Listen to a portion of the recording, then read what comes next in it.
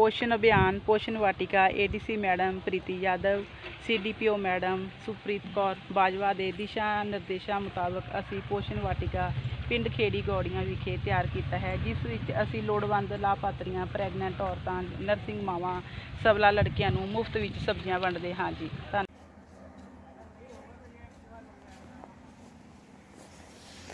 ਸਤਿ ਸ਼੍ਰੀ ਅਕਾਲ।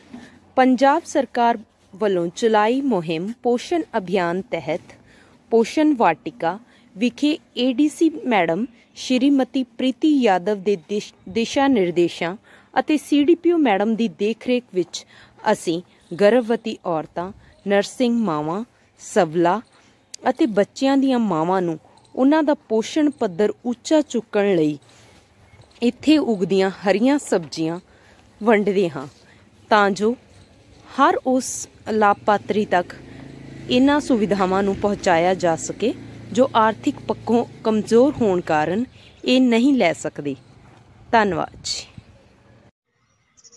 ਅਸੀਂ ਆਂਗਣਵਾੜੀ ਵਰਕਰਾਂ ਪਹਾੜਪੁਰ ਨੇ ਆਂਗਣਵਾੜੀ ਸੈਂਟਰ ਦੇ ਵਿੱਚ ਪੋਸ਼ਣ ਵਾਟਿਕਾ ਤਿਆਰ ਕੀਤੀ ਹੈ। ਇੱਥੇ ਗਰਭਵਤੀ ਔਰਤਾਂ ਤੇ ਨਰਸਿੰਗ ਮਾਵਾਂ ਨੂੰ ਲਾਭ ਦੇਣ ਵਾਸਤੇ ਤਿਆਰ ਕੀਤੀ ਗਈ ਜੀ। ਮੈਂ ਸੁਪਰਵਾਈਜ਼ਰ ਰੁਪਿੰਦਰ ਕੌਰ ਬਲਾਕ ਪਟਿਆਲਾ ਦਿਹਾਤੀ ਵਿੱਚ ਕੰਮ ਕਰ ਰਹੀ ਹਾਂ।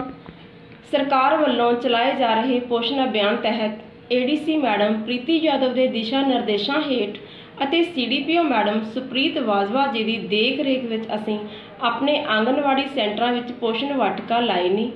ਇਹ ਪੋਸ਼ਣ ਵਾਟਕਾ ਸਾਡੇ ਆਂਗਨਵਾੜੀ ਵਰਕਰ ਹੈਲਪਰਾਂ ਨੇ ਪਿੰਡ ਦੇ ਭਾਈਚਾਰੇ ਤੋਂ ਜਿਵੇਂ ਸਰਪੰਚਾਂ, ਪੰਚਾਂ ਤੇ ਧਾਰਮਿਕ ਸਥਾਨਾਂ ਤੋਂ ਸਹਿਯੋਗ ਲੈ ਕੇ ਲਗਾਏ ਨੇ।